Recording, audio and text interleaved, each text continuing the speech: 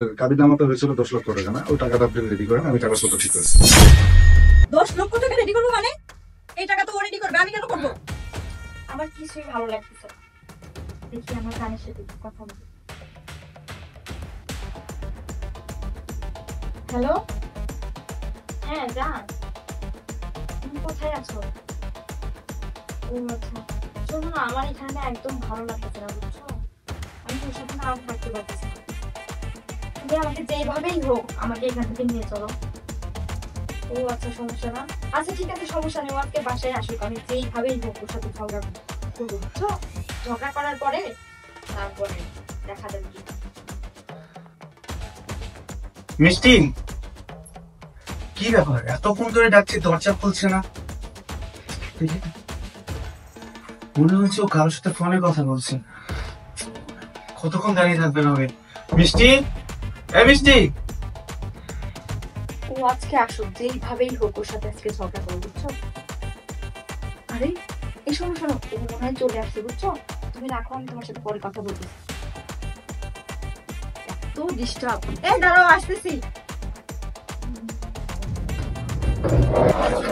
কি ব্যাপার? দরজার সামনে সেরকম অসভ্যর মতো চিল্লাচিল্লি করছ কেন? আরে তুমি এসব কি বলছো? আমি তো দরজার সামনে অনেকক্ষণ ধরে দাঁড়িয়ে আছি বলেই তো তোমাকে ডাকাডাকি করছি তাই না? আর তুমি আমাকে এরকম অসভ্য বলতে পারলে? অসভ্য বলব না তো কি বলব? আসো ভিতরে।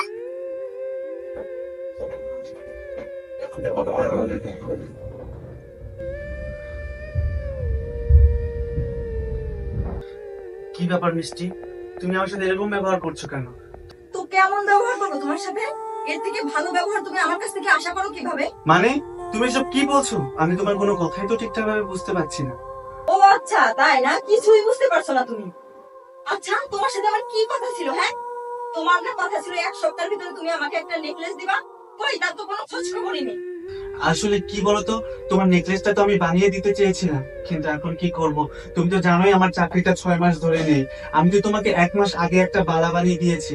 তুমি তো এটাও জানো যে আমি গ্রামের শেষ ভিটাটুকু বিক্রি করে আমি তোমাকে বালা বানিয়ে দিয়েছি। এখন এই মুহূর্তে তোমাকে নেকলেস বানিয়ে দেওয়ার মতো সামর্থ্য আমার নেই।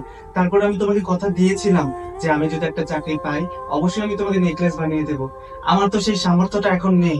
আমি কি করে তোমাকে সেই নেকলেসটা বানিয়ে দেবো বলো তো? আমি তোমাকে কথা দিচ্ছি, মিষ্টি। আমার চাকরিটা হয়ে গেলে আমি তোমাকে তোমার মনের মতো নেকলেসটা বানিয়ে দেবো। থাক, আর তোমার কথা দিতে হবে না। শোনো, আমি সাথে আর সংসার করতে চাই না। তোমার মতো একজন ছোট লোকের সাথে তুমি আমাকে কিছুই দিতে পারতেছো না। তোমার সাথে আমি সংসার করতে চাই না। তোমাকে আমি ডিভোর্স দিয়ে দিব। কি বলছো তুমি এসব মিষ্টি? তুমি এত বড় কথাটা বলতে পারলে তুমি আমাকে ডিভোর্স দিয়ে দিবে? তুমি আমি না ভালোবেসে বিয়ে করেছিলাম আমরা না দুজন একসাথে থাকার শপথ করেছিলাম। সেখানে তুমি বলছো তুমি আমাকে ডিভোর্স দিয়ে দিবে সামান্য একটা নেকলেসের জন্য। তুমি এটা বলতে পারলে মিষ্টি? শোনো আমি একবার বলেছি না তোমার সাথে আমি সম্পর্ক রাখতে চাই না তোমাকে আমি ডিভোর্স দিব। সত্যি সত্যি তোমাকে আমি ডিভোর্স দিব। থামো মিষ্টি থামো। তুমি আর এইসব কথা বলো না।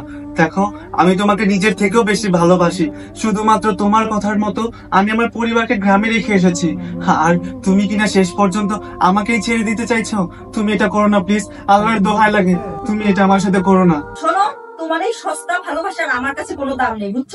তোমার সাথে আমি সংসার করব না মানে করবোই না। তোমাকে আমি আজকে মিষ্টি মিষ্টি শোনো মিষ্টি আমার কথা শোনো প্লিজ আসসালামু আলাইকুম কাজী সাহেব। ওয়ালাইকুম আসসালাম। আসেন ভিতরে আসেন।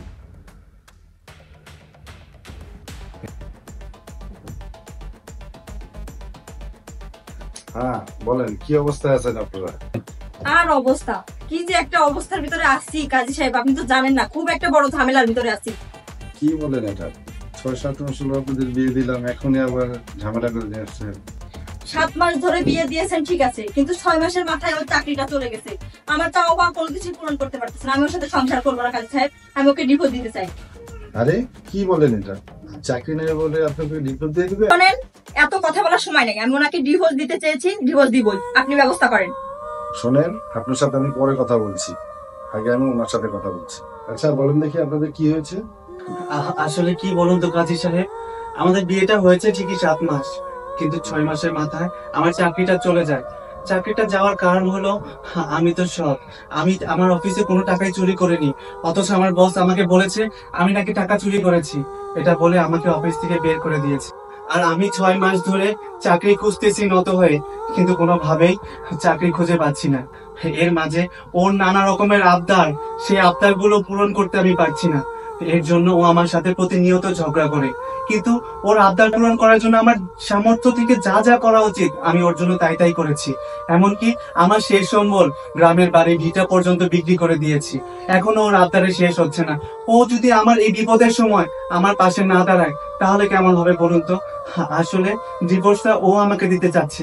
আমি ওকে দিতে চাই না কারণ আমি তোকে ভালোবাসি।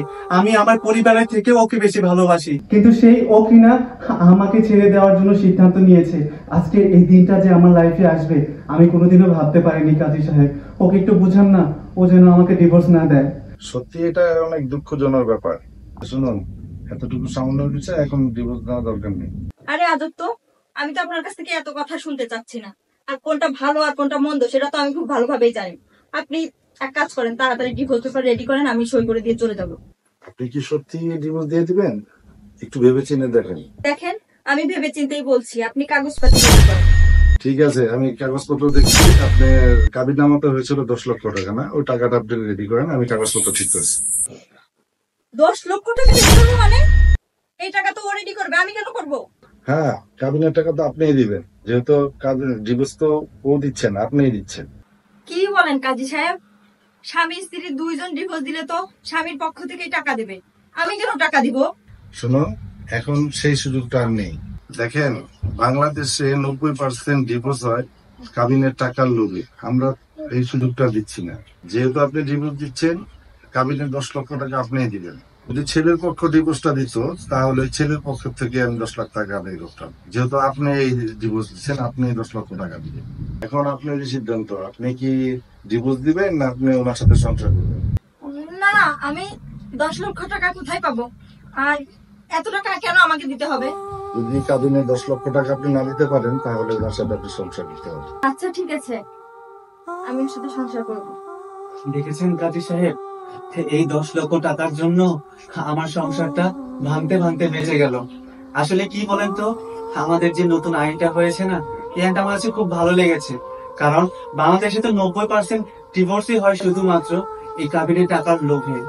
আর এই কাবিনের টাকা শুধুমাত্র ছেলেদেরই পরিশোধ করতে হয়, এটাই বিধান ছিল। কিন্তু এখন যে বিধানটা হয়েছে, যে আগে ডিভোর্স দেবে, সেই কাবিনের সম্পূর্ণ টাকা পরিশোধ করবে। আসলে এই বিধানটা সত্যি খুব ভালো। এই বিধানটার জন্য কত শত শত মানুষের সংসার বেঁচে যাবে। আরে, এই সামান্য দশ লক্ষ টাকার জন্য এই ভালোবাসার মানুষটা আমাকে ছেড়ে দিতে চেয়েছিল। কিন্তু আজকে এই আইনটার জন্যই আজকে আমার এত সুন্দর সংসারটা বেঁচে গেল। আসলে কি বলেন তো? আমি মনে করি এই নিয়মটা যদি অব্যাহত থাকে, তাহলে বাংলাদেশের এই ডিভোর্সের নব্বই পার্সেন্ট থেকে শূন্য পার্সেন্টে নেমে আসবে। এই জিনিসটা খুবই ভালো। আমাদের সমাজের জন্য এই সিদ্ধান্তটা খুবই ভালো। আসলে দেখো, আমি অনেক বড় একটা ভুল করে ফেলেছি। তোমার কাবিনের দশ লক্ষ টাকার লোভে আমি তোমাকে জীবন দিতে চেয়েছিলাম প্লিজ তুমি আমাকে ক্ষমা করে দাও। আসলে আমি কিছুই মনে করিনি, তবে তুমি যে তোমার ভুলটা বুঝতে পেরেছ, এটাই অনেক। কাজী সাহেব, আপনাকে অসংখ্য ধন্যবাদ। কারণ আপনি যদি এই বিষয়গুলো এত সুন্দরভাবে না বুঝিয়ে দিতেন, তাহলে হয়তো আমার বউটা বুঝতে পারতো না আর আমার সংসারটাও নষ্ট হয়ে যেত। এভাবে যদি সবাইকে বুঝিয়ে দেন, তাহলে সবার সংসারটা টিকে থাকবে। আচ্ছা শোনো, চলো আমরা বাড়িতে যাই।